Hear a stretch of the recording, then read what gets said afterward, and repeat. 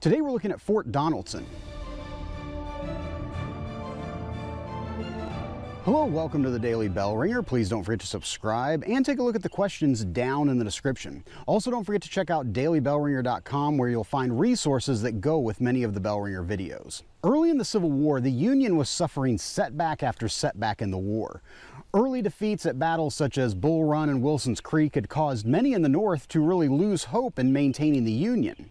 However, in late 1861 and early 1862, Ulysses S. Grant began leading Union forces to victories in the Western theater of the war, where the Union was trying to gain control of the Mississippi River as well as the Mississippi River Valley. The Confederacy was attempting to maintain a long line of defense through Tennessee and Kentucky. Two of their primary defenses of the region were Fort Henry on the Tennessee River and Fort Donelson on the Cumberland River. Grant knew that if the Union could capture these forts, it would open the way for Union invasion into Tennessee and into the Deep South. Furthermore, a Union victory here would leave Nashville, a Confederate transportation center, vulnerable. On February 6, 1862, a flotilla of Union ironclad steamboats attacked Fort Henry and easily forced the Confederates to surrender before Union forces could even reach the fort.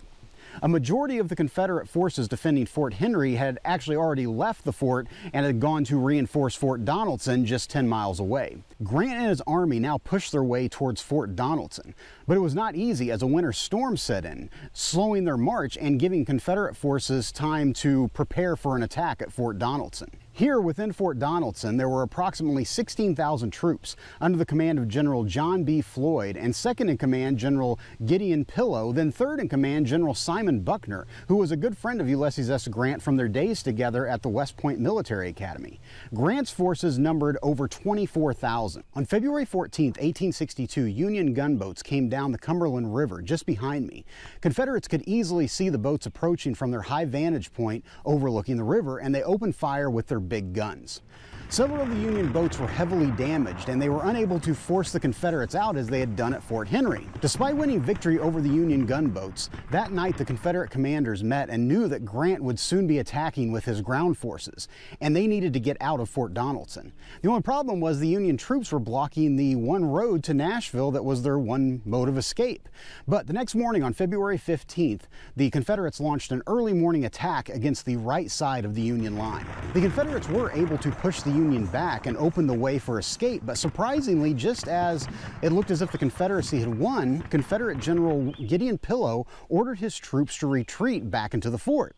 Seeing the opportunity, General Grant ordered his troops to attack and retake the ground that they had just lost, as well as launch a full-on assault on the right side of the Confederate line. Here behind me, you can see the remnants of the Confederate earthworks that the Union soldiers stormed and forced the Confederates back. As the sun went down on February 15th, the Confederates were still trapped inside Fort Donelson, and Grant was poised to attack the fort the next day. That evening, the Confederate commanders of Floyd and Pillow and Buckner met and decided the only thing to do was to surrender the fort. Generals Floyd and Pillow both boarded steamboats and made their escape, leaving Simon Buckner to surrender to his friend Grant. Buckner sent a message to Grant asking what terms or conditions Grant would offer. Grant responded by saying no terms except unconditional and immediate surrender can be accepted. This earned U.S. Grant the nickname Unconditional Surrender Grant. On February 16, 1862, General Buckner and General Grant met here at the Dover Hotel, and Buckner officially surrendered Fort Donelson and the troops within it to the Union Army. In all, here there had been close to 2,700 Union casualties killed, wounded, missing, or captured, while for the Confederates there were 13,800 casualties as they surrendered their entire force there at Fort Donelson. The victory here in February of 1862 for the Union at Fort Donelson is considered considered to be the first major victory of the war for the Union and thrust Ulysses S. Grant into the national spotlight that would eventually lead to him taking command of the entire Union Army and after the war becoming President of the United States. But immediately following the victory here for Grant, he continued to push south and by April of 1862 would be approaching the Confederate Railroad Center at Corinth in northern Mississippi. But before he could reach Corinth, the Confederates attack and the Battle of Shiloh Occurs, but that is for another bell ringer. So with that, hopefully you learned something and thanks for watching.